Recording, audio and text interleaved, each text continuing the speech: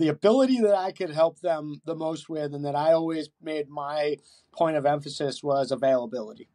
And so, uh, you know, that's the durability, right? And so, um, the, that was the ability that I always made the point of emphasis from from my end: availability and durability. And um, look, they don't need to necessarily, oftentimes, be able to run faster, jump stronger. They need to be able to, you know, one example is what goes up has to come down. So, am I preparing them more for their landings than I am for their jumps? Um, am I preparing them to build uh, the resilience physically out there that it takes to withstand the, the rigors of the game?